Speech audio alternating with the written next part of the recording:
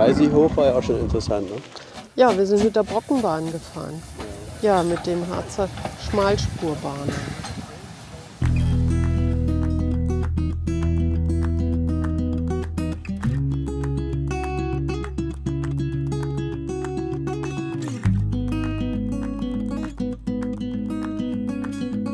Hallo Freunde, willkommen auf meinem Kanal.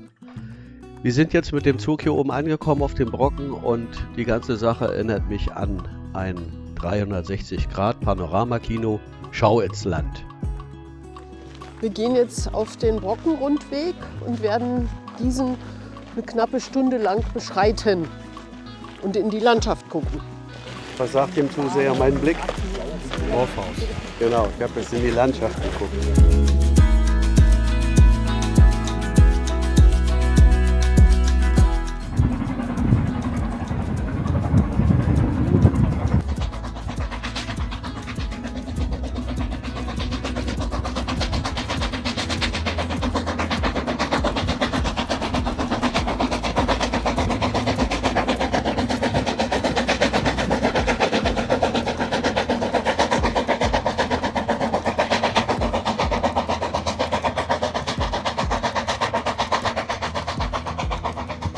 Das sind ja keine ausgesprochenen Eisenbahnenthusiasten. Stimmt. Aber es war schon ein besonderes Erlebnis, ja, die Brockenbahn hier vor dem Hintergrund, Wurmberg und so Ja. weiter zu sehen. Haben. Zu sehen. Ja, toll. Ja.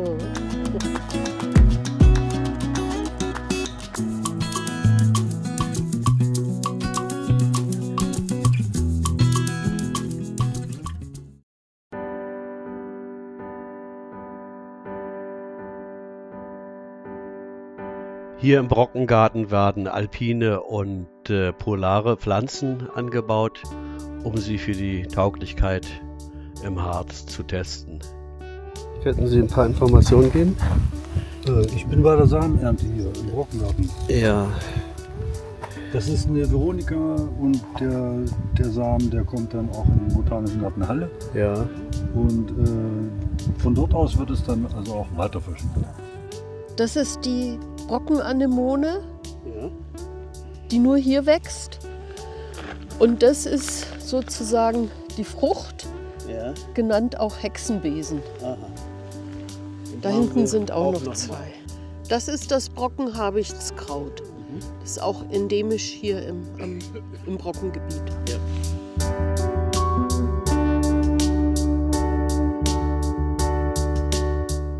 Da geht es einem doch gleich viel besser, ne? So mit ein bisschen was im Magen. Ne? Ja.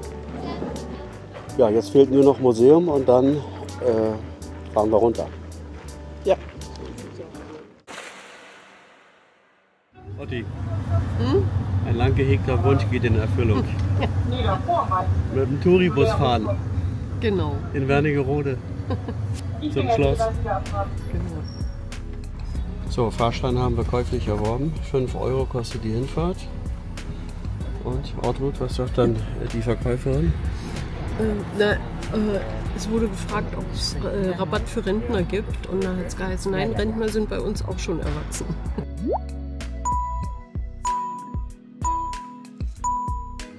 wünsche ich Ihnen einen angenehmen Aufenthalt. Alle halbe und volle Stunde können Sie bei uns wieder zusteigen. Die Auffahrt war kurz, aber interessant. So. Und nicht so anstrengend wie mit Fahrrad. So ist es. Wenn ich daran denke, 2015 hier mit dem Mountainbike hoch, war schon heftig.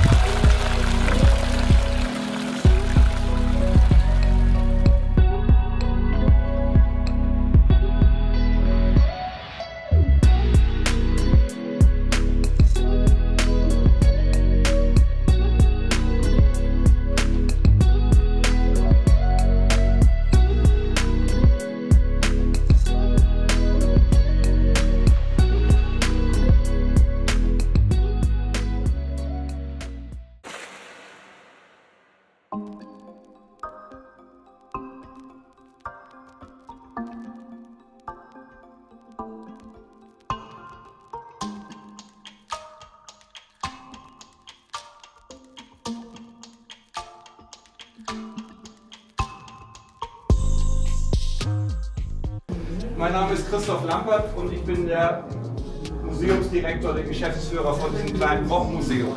War morgens um sieben Schichtwechsel. Da fuhr die Nachtschicht vom Brocken runter nach Schirke, die Tagschicht kam hochgefahren und der neue Kollege hat am frühen Morgen zwei bis drei Stunden das Wetter beobachtet und wenn Nebel war, hat er einen Haken auf ein Blatt Papier gemacht. Das Blatt Papier wurde abgeheftet in den Schrank gestellt, Nebeltag. Dabei wurde dann verschwiegen, dass tatsächlich nachmittags um 3, 4 herrlichster Sonnenschein sein konnte. Als erster und einziger Berg auf der ganzen Welt mit einer 3,60 Meter hohen Mauer, ne, hätte nicht reingepasst, ist abgesägt, 3,60 Meter hoch auf der gesamten Länge des heutigen Rundwanderweges. 1989 die Situation auf dem Brocken war wie folgt. 3,60 Meter hohe Mauer, einmal außenrum, das wissen wir ja schon und oben auf dem höchsten Punkt, auf dem kleinen Brockenplateau, fünf unterschiedliche Gruppen, die alle nichts miteinander zu tun haben durften. Sie sehen hier auf dem höchsten Punkt die russische Garnison, 80 bis 90 russische Soldaten zum Höhepunkt der Besetzungszeit. Wer es noch nicht mitgekriegt hat in dieser Gruppe, sie befinden sich im ehemaligen Stasi-Hauptquartier hier oben auf dem Berg. Dieses Gebäude wurde 1985, selbes Baujahr wie die Mauer, wurde dieses Gebäude, errichtet, einzig und allein, um dem Ministerium für Staatssicherheit der ehemaligen DDR als die zentrale Abhöreinrichtung gegenüber dem Klassenfeind in Westdeutschland zu dienen. Von hier aus wurde der gesamte Funkverkehr, Autotelefonverkehr von Westdeutschland nach Westberlin und zurück abgehorcht. Von hier oben vom Brocken wurde eine abhörsichere Leitung unterirdisch Richtung Magdeburg und Ostberlin gegraben, damit man die Daten unabgehört senden konnte. Herzlich willkommen im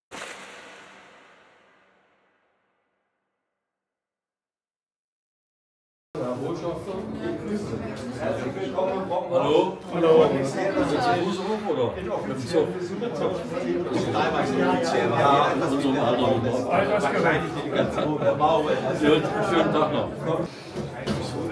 gesagt, ich werde nicht übernommen. Also wenn Sie mich Na, wie war's? Ja, war sehr interessant. Vor allen Dingen auch die Führung von Herrn Lampert und die Anekdoten, die er zu erzählen hatte. schöne das, Anekdoten hat er da zum Besten gebracht, ja? ja, War schon nicht schlecht. ja, zum Teil auch haarsträubend. Ja, durchaus. durchaus. So, jetzt bereiten wir uns langsam zur Abreise vor. Ja? Ja, Ich finde, das, was wichtig ist, vergesse ich nicht. Aber das So, ist wohl. Wo, ist wohl Dieter, hier ist ein Knopf und wenn man drauf drückt, dann nimmt er auf und ich habe jetzt schon drauf gedrückt. ja, habe ich mir schon gedacht. Es hat Bing gemacht, Das ja? habe ich alles mitgekriegt. Und wenn du jetzt einen freundlichen, freundlich, wenn du ein freundliches Gesicht hast, kriegt das jeder mit.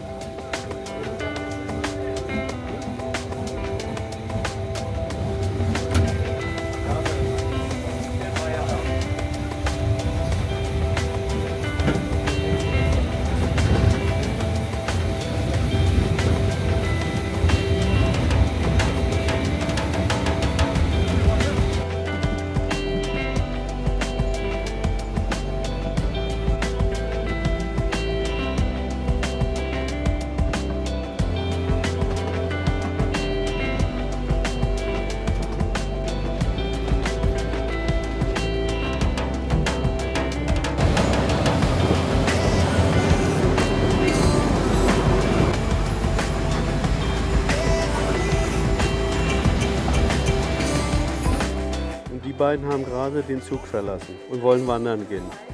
Die haben zwar eine Fahrkarte, aber beim Halt auf freier Strecke sind die einfach ausgestiegen.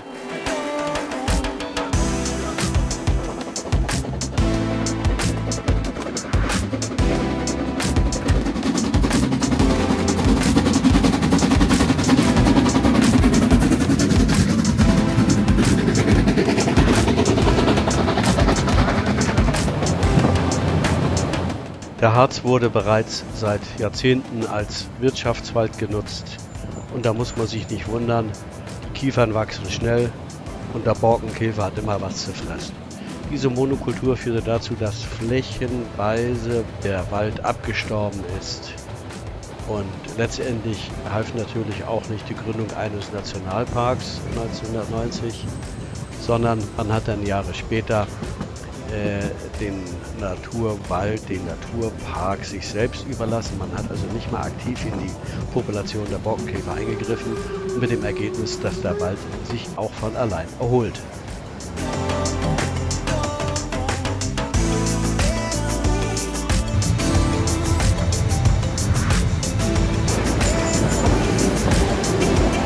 Vor gut 20 Jahren hat man erkannt, dass der Wald seine eigenen Selbstheilungskräfte hat und die wurden dann auch mehr genutzt. Also, der Borkenkäfer wurde in erster Linie nur an den Randgebieten bekämpft und wenn mal ein Brand äh, war oder ein Sturm, dann hat der Mensch in diesen Dingen nicht aktiv eingegriffen. Ergebnis, der Wald erholt sich hervorragend.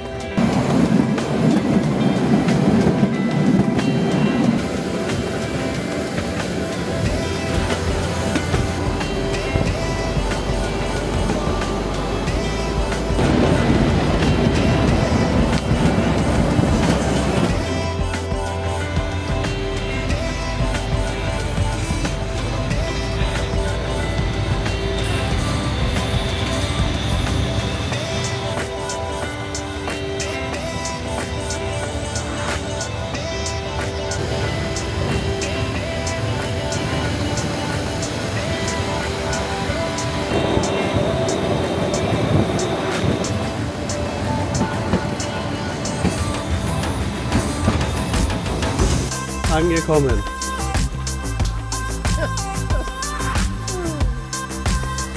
Wernigerode.